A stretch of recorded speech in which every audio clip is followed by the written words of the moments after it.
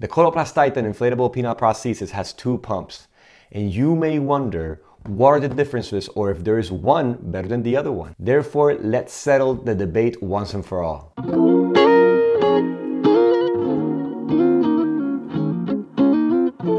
Hello everyone, my name is Jonathan Clavell and I am a urological surgeon and specialist in penile implant surgery. After doing your research, you might feel like the Coloplast Titan implant may be the right implant for you. Mm-hmm. However, you find out that there are two different pumps, the classic, also known as a Genesis pump, and the One Touch or Touch pump. And might wonder which one will be best for you. This video will hopefully help you decide which one is best specifically for you. As always, it is extremely important that you discuss this with your specific surgeon as he or she knows your situation better and this video is not intended to replace your surgeon's recommendations. So let's dig deep into the specifics of each pump. First, the Coloplast Classic. The Coloplast Classic was brought into the market sometime in the 1990s. It is characterized by a bulb that you use to inflate and two small linear tabs that need to be pressed for deflation. In order to deflate the classic pump, the patient needs to press and hold both tabs while at the same time squeezing on the penis in order to deflate the cylinders. If the patient lets go of those tabs, the cylinders will stop deflating immediately. Another feature that differentiates this pump from others available on the market is the configuration of the tubing. The tubing classic pump has the tubing in a straight line, as opposed to the other pumps that are triangular shaped. Some surgeons suggest this could be an advantage as it may prevent the tubings from rubbing against each other and therefore last longer. But this claim has not been validated in research studies. Now, the One Touch. The One Touch pump was brought to the market in 2013. Then, in October 2021, the Coloplast company made changes to the pump to help it be softer and more durable. When cycled in the laboratory, the latest model of the One Touch pump sustained an average of 58,000 inflation and deflation cycles. That's 58,000. That is, if someone were to cycle the device three times every day, the pump would last 52 years. Again, it is important to remember this was done in a lab, and this does not mean that your pump will last 52 years in real life but this suggests that the pump should be durable. The One Touch has a bulb similar to the Classic and a deflate mechanism right above the bulb that is used to deflate. The deflate mechanism is what makes the One Touch pump unique. Its shape is like a small square with hollow walls and a flat button. It is called One Touch because in theory, the patient can press the deflate button for just a few seconds and release it to allow the cylinders to naturally deflate.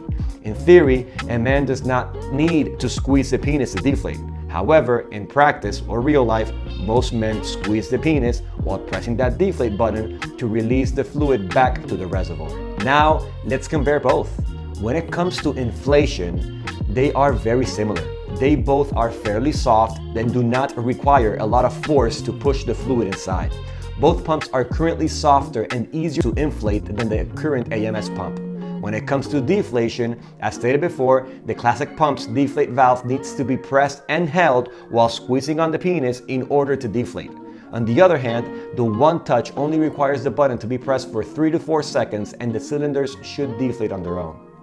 The advantages of the classic pump are number one, it is slightly smaller, therefore less noticeable for the partner and an advantage when it mm. comes to fitting the pump in men with a small scrotum. Number two, the deflate bars of the Classic are easier to find in the scrotum. It doesn't matter how the pump is placed, most of the time the bars sit on the side and most men are able to differentiate the deflate bars from the end of the bars, which makes it easier to identify the deflate mechanism and therefore it is easier to teach patients to deflate when compared to the One Touch. The disadvantage of the classic pump is that during inflation, it makes a quacking sound with each squeeze. Take a listen.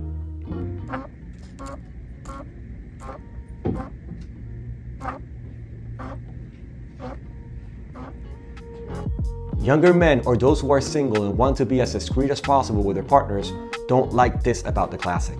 However, the noise it makes, it is not that apparent. If the patient goes to the restroom or puts some music prior to inflating the implant, the partner should not be able to hear the sound that the pump makes. But be aware that it does make a sound. On the other hand, the one-touch pump in general does not make any noise during inflation, which is an advantage over the Classic and a great feature for those who want to be completely discreet with their partners. That said, we also need to remember that this is a hydraulic device that is transferring fluid. Therefore, in some occasions, specifically for those men with larger cylinders, we may sometimes hear the turbulence caused by the transfer of fluid going into those cylinders. As long as the implant is inflating and deflating, this is not a sign of malfunction. If you have any concerns, please feel free to reach out to your doctor about this. The disadvantages of the One Touch, though, are number one, the One Touch is slightly, and may I repeat that again, only slightly bigger than the Classic. Take a look here. The difference in size is minimal. May I repeat that again? The difference in size is minimal. Number two, given that the deflate button is flat, many men initially struggle to find that deflate button. It is common for men to squeeze the sidewalls of the deflate mechanism rather than the deflate button itself. For tips on how to inflate and deflate the One Touch pump, refer to our teaching video, which you can find in our YouTube channel. Remember, regardless of which pump you get, most men struggle initially to deflate and inflate. And we also need to remember that eventually most men learn and they get it. After a few weeks, most men become experts in inflating and deflating the pump, regardless of which one they get. It is also important to clarify that there is absolutely no research showing that one pump is more durable than the other. Let's repeat that again. As of the beginning of 2023, there is no research studies showing that the classic pump is more durable than the One Touch or that the One Touch is more durable than the classic. We need to remember that the One Touch has only been in the market for 10 years, so there's really no way we can compare one with the other beyond that time frame. Anecdotally, most pumps last 10 to 15 years. That is on average. I have seen classic and one-touch pumps that fail within one or two years. And the same goes with the MS pump from the AMS 700 inflatable penile implants. But remember, these early failures are extremely, extremely rare, and in most occasions can be revised with a simple operation and without major complications. Also, there are men, although rare, who have had implants lasting 20 plus years. How long your implant will last is honestly hard for us to predict. Both Coloplast and Boston Scientific's engineers continue to work on providing men with the best, most natural, and most durable implant they can possibly create.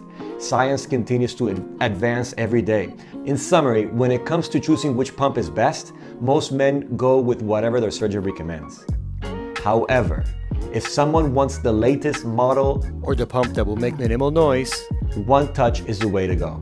If someone has a smaller scrotum or wants a pump that will be smaller and easier to find the deflate valve and at the same time does not care if that pump makes a noise, then classic is the way to go. And that's it. Regardless of the pump, remember one thing. The purpose of an inflatable penile prosthesis is to give a man a strong and natural erection. The Coloplast Titan will provide for both a good and strong erection.